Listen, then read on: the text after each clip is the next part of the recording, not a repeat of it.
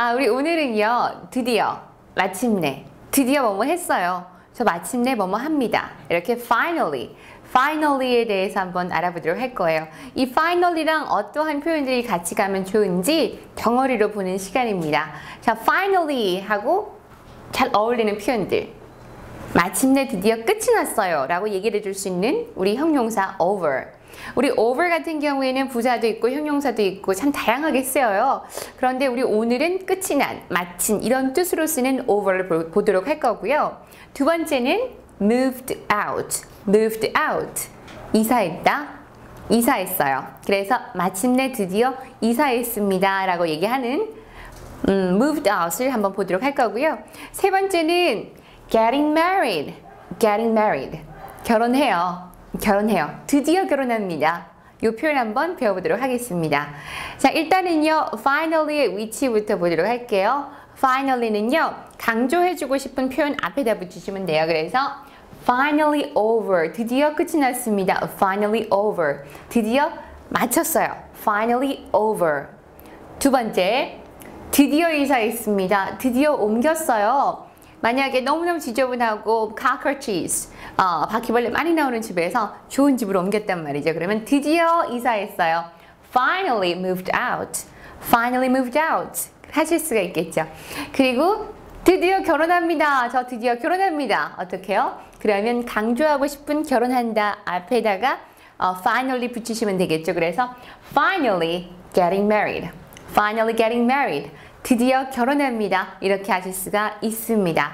자, 그러면 주어는 어떻게 갖다 붙이면 된다고요? 주어는 문장 맨 앞에 갖다 붙이시는 게 가장 안전하다고 그랬어요. 그래서 그 상황이, 전쟁이, 어떠한 사건이 혹은 지긋지긋했던 시험이 드디어 끝이 났어요. 그럼 어떻게 해요? 그런 모든 상황이라든가 사건을 다 주어 이수로 받아주실 수가 있어요. 그래서 It's finally over. It's finally over. It's finally over. 드디어 끝이 났습니다. 전쟁이 드디어 끝이 났고요. 지긋지긋했던 시험이 끝이 났어요. It's finally over. 하실 수가 있습니다. 두 번째는요. 음, 저요 드디어 이사했어요. 저 드디어 집 옮겼어요. 어떻게 해요? 저 I finally moved out. I finally moved out. I finally moved out. 하실 수가 있고요. 마지막으로요. 제가 아는 분이 있는데 그분 드디어 결혼합니다. 어떻게 해요? 그분 드디어 결혼합니다. 남자분이다. 그러면 his. He's finally getting married. He's finally getting married. He's finally getting married. 드디어 결혼하세요. 드디어 장가가요. 드디어 시집가요. 이렇게 할 수가 있는 것이죠. 자, 우리 finally, 드디어, 드디어 마침내를 나타내는 부사 어디에다 붙이시면 된다 그랬죠? 강조하고 싶은 표현 앞에다가 붙이시면 된다 그래서 드디어 끝이 났습니다. 어떻게 finally over. finally over. 그리고 드디어 이사했습니다. finally moved out. finally moved out. 그리고 마지, 마지막으로 드디어 결혼합니다. 드디어 장가갑니다. 드디어 시집갑니다. 어떻게 해요? finally getting married. finally getting married. 하시면 된다 그랬어요. 우리 문장 통으로 한 번 한 번 더 볼까요? It's finally over. It's finally over. 드디어 끝이 났어요. 저요 드디어 이사했어요. I finally moved out. I finally moved out. 그리고 그분께서 그분이 혹은 내 친구가 걔가 드디어 장가가 어떻게 해요? He's finally getting married. He's finally getting married. He's finally getting married. 하시면 된다 그랬어요. 자, 여러분들 지긋지긋했던 모든 것들이 딱 끝이 나고요. 그리고 다들 시장가 잘 갔으면 좋겠습니다. 다음 시간에 뵙도록 할게요. 바이바이.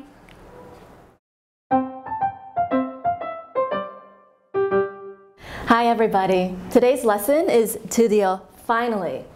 Finally, meaning you waited a long time for something. Finally. Our three verbs for today is over, moved out, and getting married.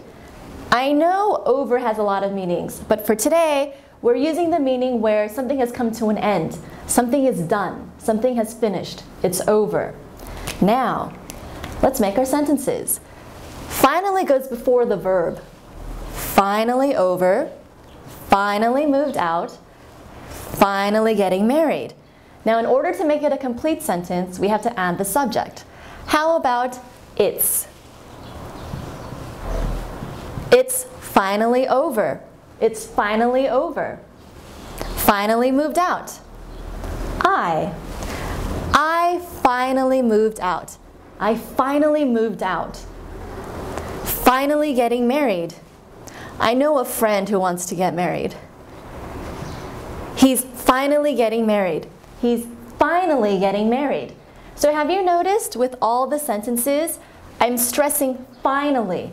It's not, it's finally over, or it's finally over. No, I emphasize finally. It's finally over. I finally moved out.